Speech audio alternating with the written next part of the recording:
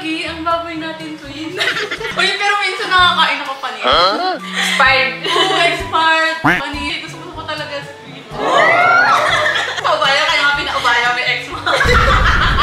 Hello everyone! Welcome back to my channel. It's me, Regil, and this is my cousin, Queenie. Hello. So, for today's vlog, magmumukbang po tayo. So, yung mga food namin is ito, meron kaming pancit canton na sweet, Sweet and and spicy. spicy. Tapos, bumili kami kanina sa kanto ng ano, quick quick na pugo. Yeah, tapos siomay, tapos yung liver. Gusto ko rin kasi yung liver.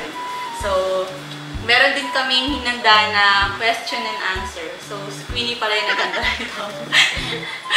si Queenie yung nagsulat. So, meron kaming question and answer para may ganap naman dito sa mukbang namin. So, yan. Let's start. So, may naisip ako kanina. So, di ba, dapat magmumukbang tayo. Tapos, sasagutin natin yung question. Pero, susubuan natin yung isa't isa. so, ako susubo sa'yo, tapos ikaw kukuha ng question, and then, sasagutin ko. Para habang kumakain ka, sumasagot ako. Sige. Wait lang, sino una?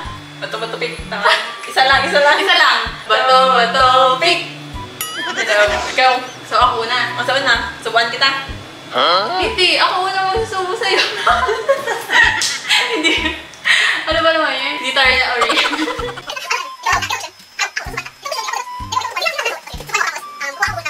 Kaya bubunot ang question. Ano gusto mo, Day? Mm, kwek-kwek muna. Favorite ko yan. ah. Question ka muna. Question muna.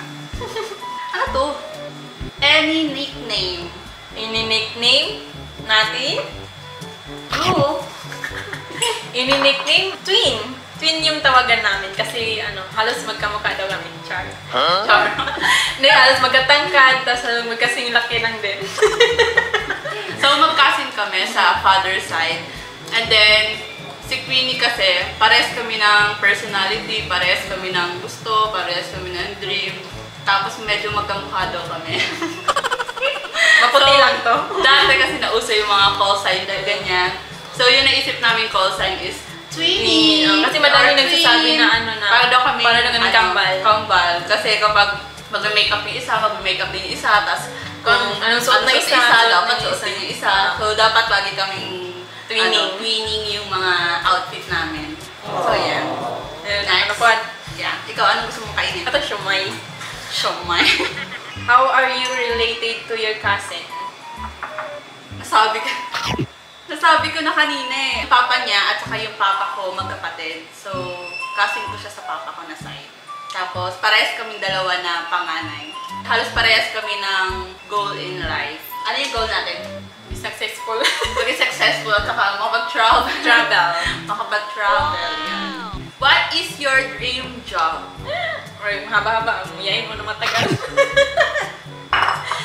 ano, dream job, job ko talaga dati is nurse. Kaso, siyempre di kaya ng parents ko. Tapos, kailangan pa pumunta ng ibang lugar para makapag-aral. So, medyo malayo sa pamilya, eh ayaw ni mama at papa. Tapos, yung second option ko naman is flight attendant. Eh kaso, may travel sickness ako every nagta-travel ako. Kaya, ano na lang, ginagawa ko na, sumasabay ako kung saan yung mga flight attendant. Char! Travel, travel!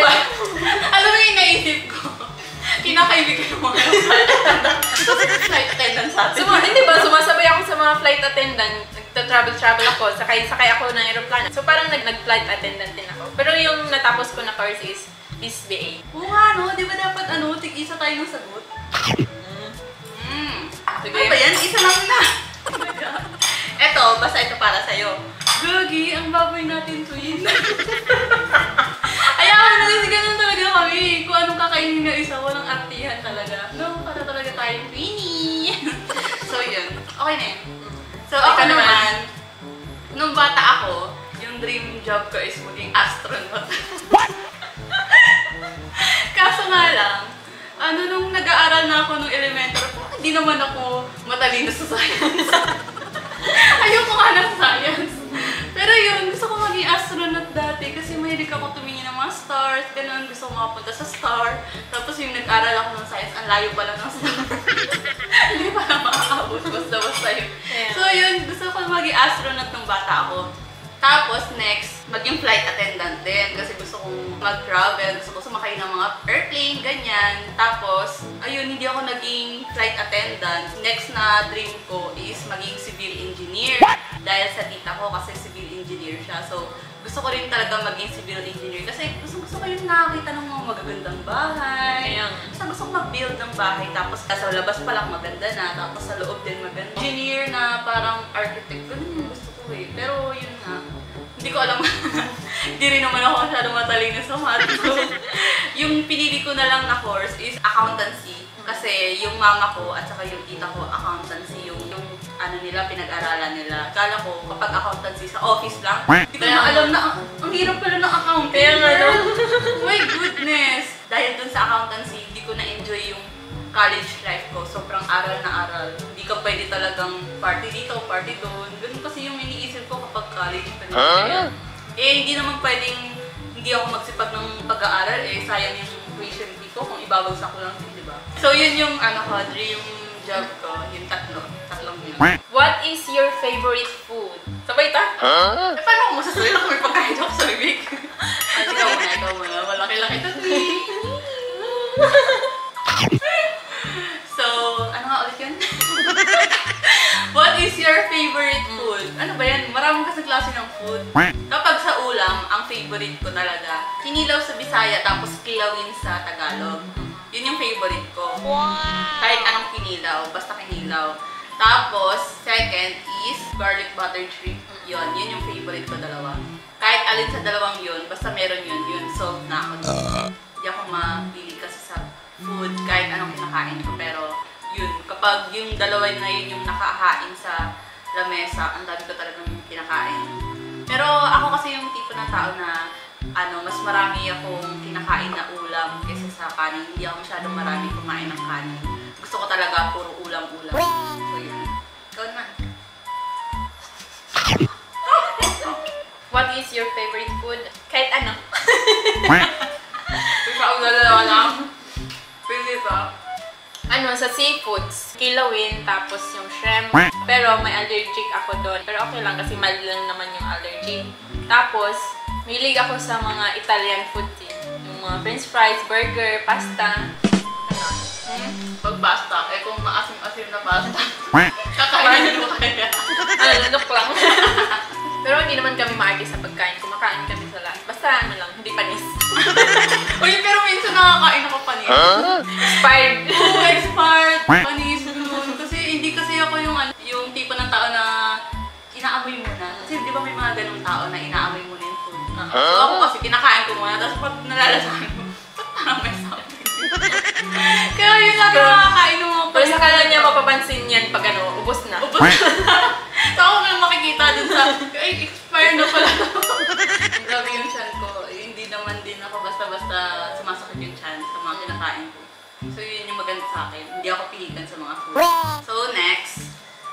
favorite film you've seen together and why?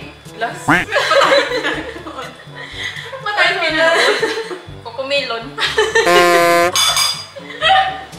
hindi ko kaya, hindi ko maalala kung ano pinanood namin na film or movie. Kukumelo. Oo, kasi kanya-kanya kami. Ko- Cellphone, mag- parang, Netflix. Uy, nag-ano na ba tayo? Nag-sine na ba tayo together? Wala. Ne- Never pa. Dapat pala mag-sine date tayo, no?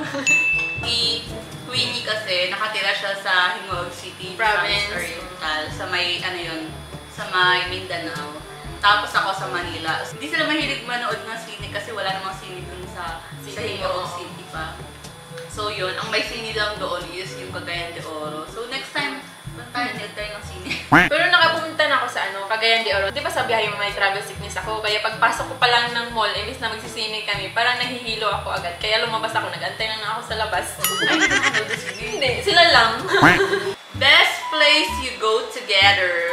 So, sa akin yung best place na pinuntahan namin dalawa is yung Siargao. Ayun pa lang kasi yung napupuntahan namin na nag-enjoy talaga kami. As in, 3 days lang yun, guys.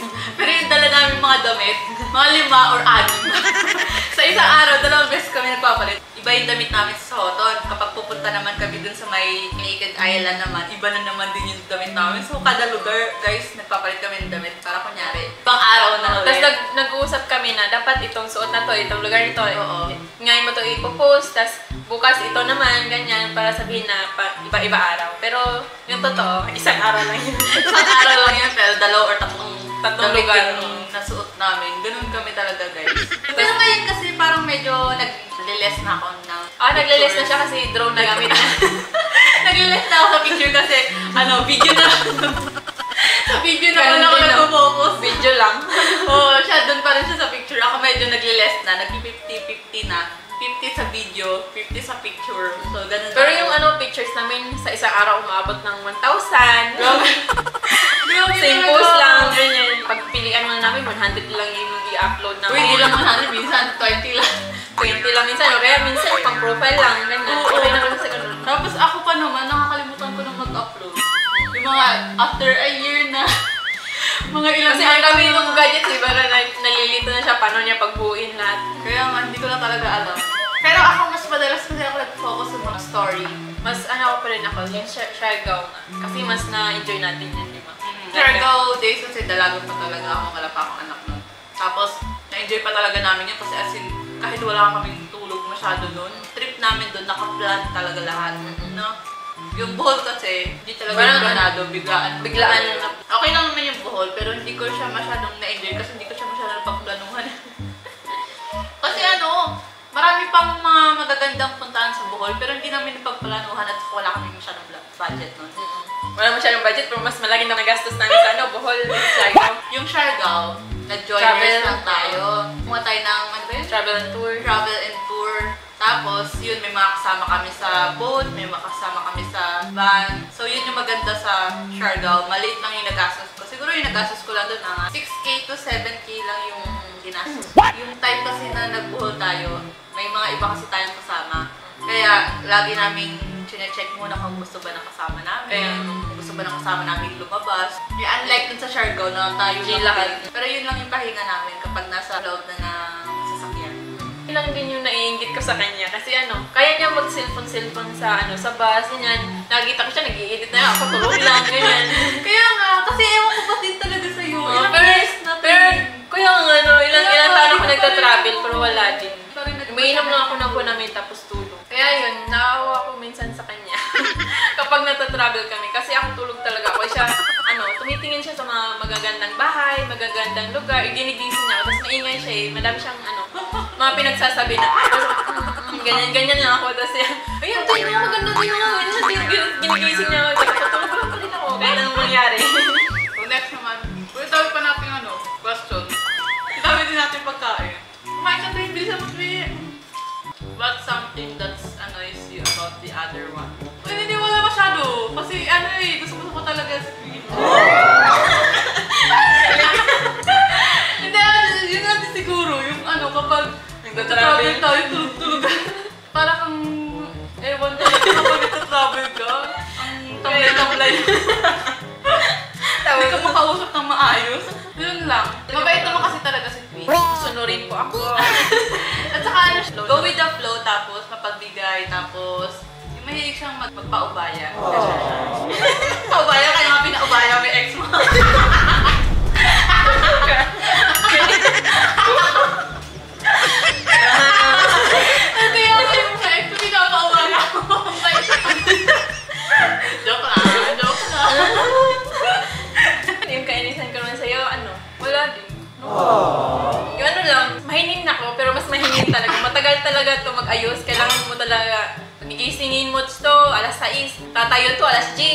maliligo pa, malil- mag ano pa, mag-aayos.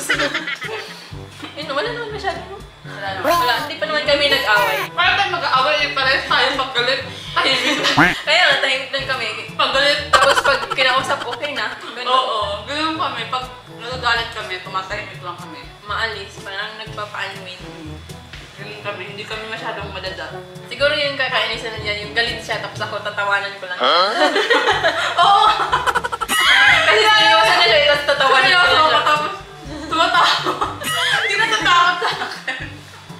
Nag-walk out.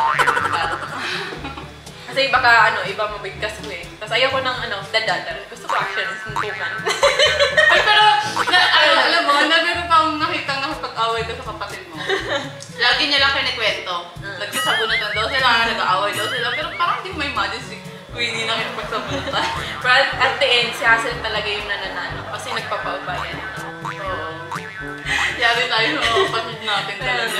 Eh sila pa naman, wala silang paki kung anong, anong masira nila. Oo nga, ito may ano kami, parang makip kami sa mga gamit kasi kami mismo yung bumili ng Sentimental kami dalawa eh. Oo, pares kami dalawa. Kaya marami talaga kami similarities. So yun. Uy, next na nga. Kumakain ka ba? What's your favorite makeup brand? Hindi kami mahilig sa makeup. Hindi kami mahilig mag-makeup pero nagamit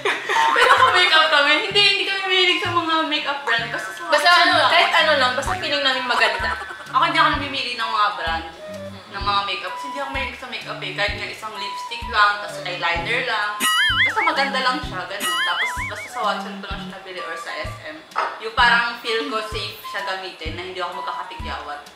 So yun.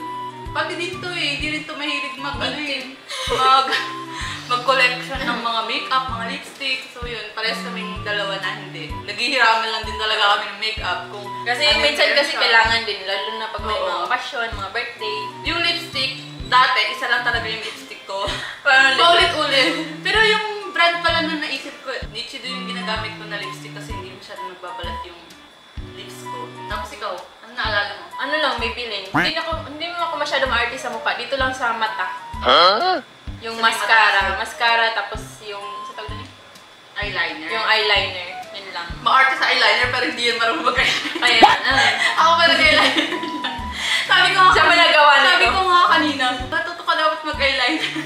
kasi gusto mo mag-eyeliner tapos di ko marunong tapos, mag-eyeliner. tapos sabi pa niya, paano pag wala siya? Ganun, tapos isip ko, pag wala ka, ano naman si Hazel? Pag wala si Hazel, hindi mo mag-eyeliner. Pwede wala make-up. Ang ginagawa ko lang kasi powder, tapos lipstick, tapos eyeliner, tapos kunyari, kunyari lang ako maglagay ng dito ng blush. Tapos nakita ko yung sarili ko, over makeup na ako. tapos pagtingin ko kay Queen, white lang yung mukha niya. Tapos dapat hindi pa siya maglalagay ng powder, guys. Sabi ko, gawin mo nga to. yung makeup ko, ano yung powder ko. So nagpalagay ako sa kanya ng powder, tapos nilagyan ko na lang siya dito ng blush on, blush on, ganyan, tapos ng eyeliner, tapos nagpalagay ako sa kanya ng nose Highlighter, ganyan. highlighter. So yun lang, ganun lang yung ginagawa namin na makeup. Hindi yung masyadong, masyadong maraming kung ano-ano nilalagay. Hindi ako mahilig maglagay ng mga cream-cream eh. Concealer ba yun? Hmm? Yung unang nilalagay, para hindi kita yung mga nunal-nunal, ganun. Iniisip ko kasi baka mamaya sa video lang maganda, pero sa personal, hindi naman maganda, na-over na pala. Nanonood lang din ako sa YouTube ng mga kung ano-ano. Pero hindi talaga ako mahilig- mahilig masyado mag-makeup. So yun. Eh ako kasi lumaki ako sa probinsya. Wala, hindi, ano lang naman din eh. Mga simple lang. Oo. Kaya yung importante lang sa akin yung lips, tapos yung sa mata. Kasi, ano yung kilay ko, ano na to? Sinita to na to, pero makapal to sa natural na hair. What you and your cousin do for fun? Travel. Sa picture. Yun lang naman.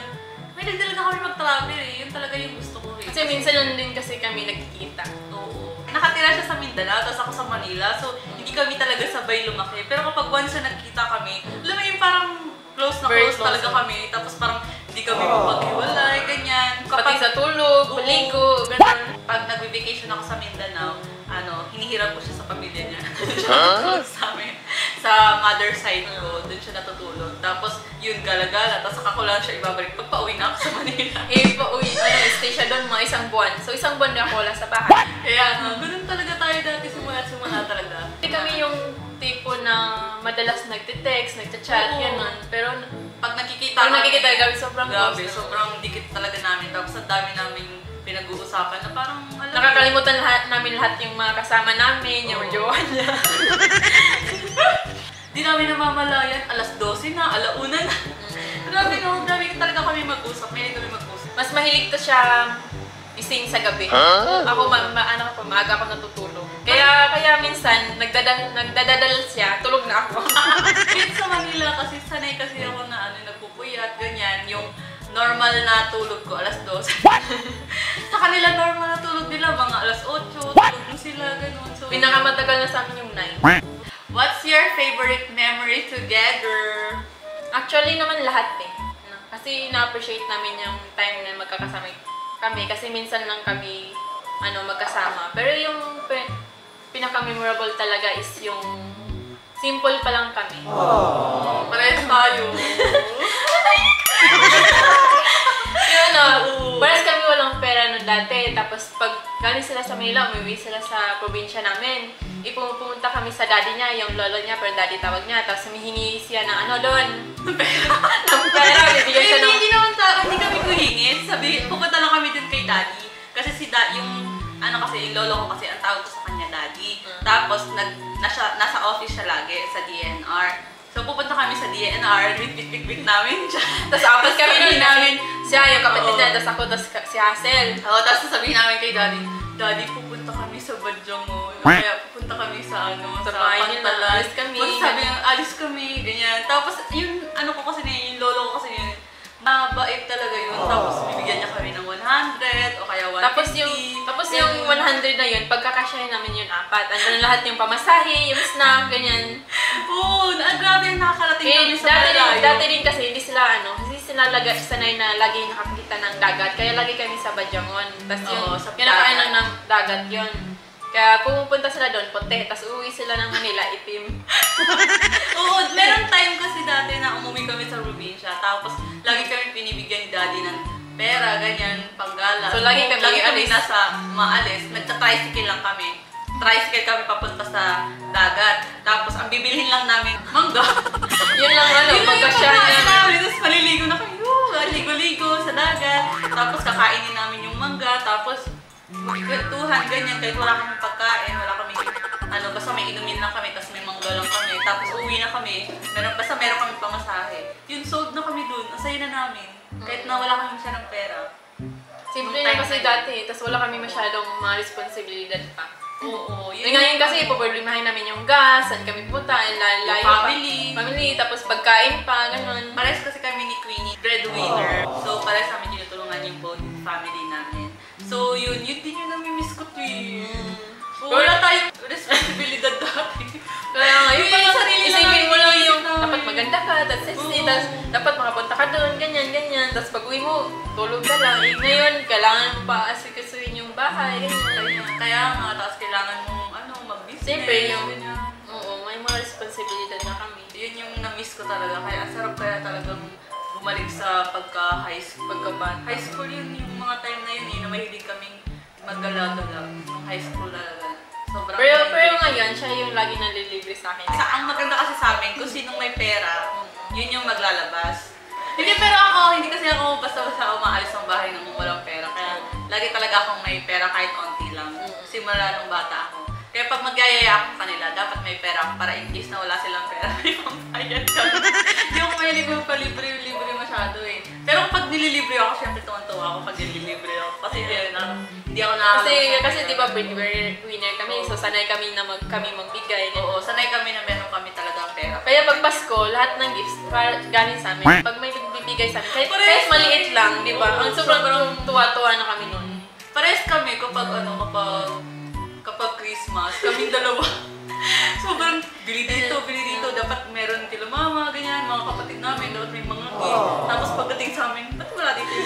Tapos minsan pa, yung malala pa.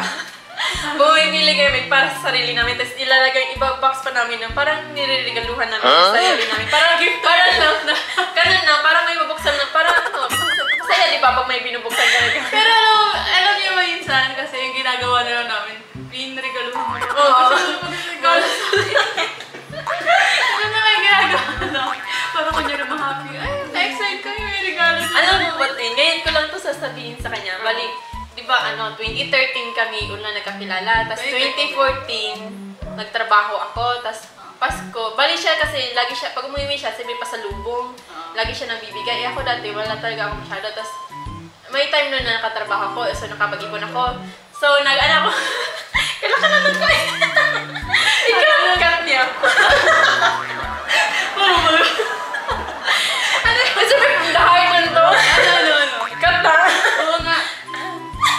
lang.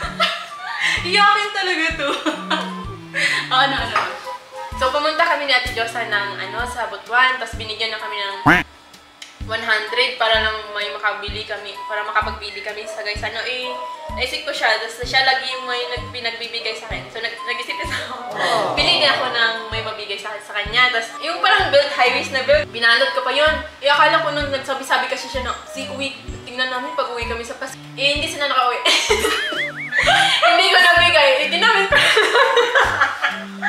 Tapos inisip ko, pag kita kami, baka di niya magustuhan kasi ano ito. Kaya yun. Loko. Kala ko naman, binigay niya siya. Kaya question mark. Ang dami namin sinabi. oh, ganito kami magkika guys. Ang daming so, ano. bro, yung feeling ko pa kung may umabot isang oras yung video ko na to. Hi guys, masyado nang mahaba kaya let's continue na lang sa part 2. See you all!